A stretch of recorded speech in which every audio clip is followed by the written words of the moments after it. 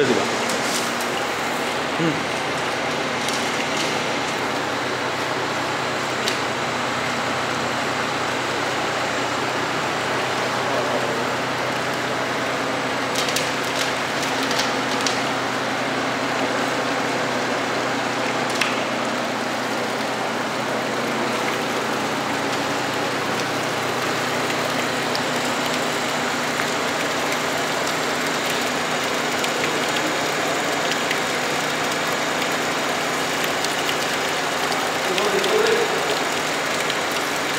এখান থেকে আনা যায় না হুম এটা কোল্ড ইউনিট এটা দেবি আনা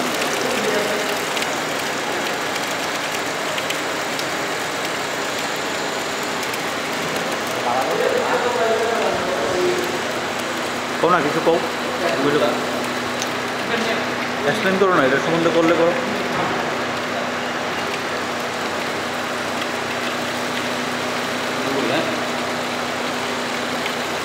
আমরা সাধারণত জানি যে রেফ্রিজারেন্টকে আমরা ফ্রিজ এবং এসির মধ্যেই ব্যবহার করতে পারি।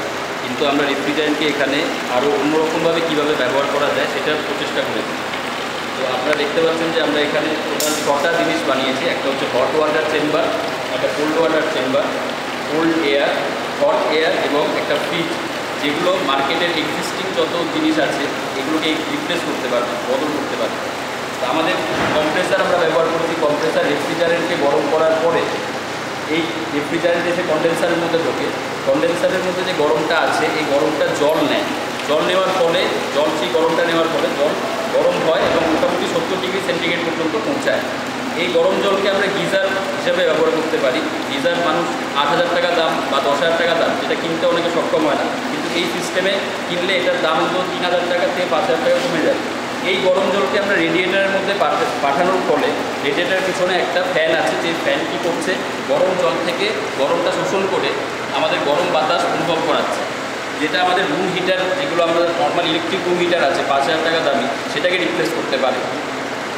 এখানে যে রেফ্রিজারেন্টটা কন্ডেন্সার থেকে আছে কন্ডেন্সার দিয়ে লিকুইড রেফ্রিজারেন্টটা চলে যায় ইভাপোরেটারের মধ্যে। ইভাপোরেটারে গিয়ে এই টোটাল সিস্টেমটাকে ঠান্ডা করে। ঠান্ডা করার ফলে এটা এই সিস্টেমটা আমরা ফ্রিজকে রিপ্লেস করতে পারি।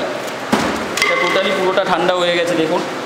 তো আমাদের ফ্রিজ যতটা ঠান্ডা হয়, তার থেকেও আরও হয়তো দু তিন ডিগ্রি কমে গেছে। তো আমরা এই কোল্ড চেম্বারটাকে অ্যাজ এ ফ্রিজ হিসাবে ব্যবহার করতে পারি। তো আমরা এখানে দেখতে পাচ্ছি যে একটা কম্প্রেসার ব্যবহার করে আমরা হট ওয়াটার পাচ্ছি হট এয়ার পাচ্ছি এবং ফ্রিজ পাচ্ছি।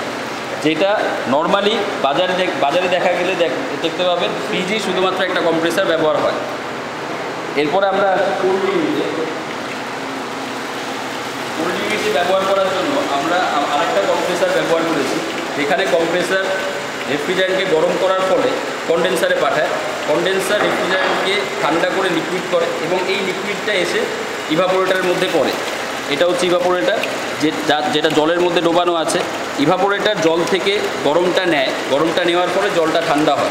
জলটা ঠান্ডা হলে আমরা এই জলটাকে অ্যাজ এ ওয়াটার কুলার হিসাবে ব্যবহার করতে পারি। ঠান্ডা জল খাবার হিসাবে ব্যবহার করতে পারি। যেটা বাজারে ওয়াটার কুলারের দাম আছে অন্তত কুড়ি হাজার টাকা, এই সিস্টেমে ফলো করলে পাঁচ হাজার টাকার কমেও এই এই সিস্টেমটা আপনারা ঘরের মধ্যে বানাতে পারেন। এই ঠান্ডা জল পাম্পের দ্বারা আমরা ডেজার্ট কুলারের মধ্যে পাঠাই। ডেজার্ট কুলার যেটা আমরা এখানে খড় ব্যবহার করেছি, এখানে কুল প্যাডও ব্যবহার করতে পারে। ঠান্ডা জলটা এর মধ্যে এসে স্প্রে হলে এর পিছনে আছে একটা ফ্যান যে ফ্যানটা ঠান্ডা জলের থেকে ঠান্ডাটা নিয়ে সেই বাতাসটাকে এখান দিয়ে বার করে। ঠান্ডা বাতাসটা আমরা গরমকালে ব্যবহার করতে পারি। তো আমাদের হোল সিস্টেমটা একটা মাল্টিপারপাস সিজনালি অপারেটেড সিস্টেম যেখানে আপনি গরমকালে ঠান্ডা ইউনিট ব্যবহার করতে পারবেন ঠান্ডা জল এবং ঠান্ডা বাতাস প্লাস ঠান্ডাকালে আপনি গরম গরম ইউজ করতে পারবেন গরম জল গরম বাতাস এবং ফ্রিজ তো আমরা এখানে দেখতে পাচ্ছি যে দুটো কম্প্রেসার দিয়ে আমরা টোটাল ছটা ইউনিট বানিয়েছি যেটা বাজারের geyser room heater air cooler এবং আপনার রুম হিটার প্লাস ফ্রিজ এগুলোকে রিপ্লেস রিপ্লেস করতে পারে এবং খুবই অল্প দামে। তো যারা নিডি পার্সন আছে বা মধ্যবিত্ত পরিবারের যারা লোক আছে যারা এত কিছু আইটেম কিনতে পারে না, তারা এটা খুবই কম দামের মধ্যে পেতে পারবে। এবং এর ইলেকট্রিকের যে পাওয়ার কনজামশনও অনেক কম হয়। আমরা এটা ক্যালকুলেশন করে দেখেছি যে টোটাল সাতটা ইউনিটে নব্বই ওয়াট পর্যন্ত খায় মাসে। কিন্তু আমাদের এই টোটাল ইউনিটটা মাত্র তেরো ইউনিট খায় মাসে তো ইলেকট্রিক বিলও আপনারা কমাতে পারেন এর দ্বারা।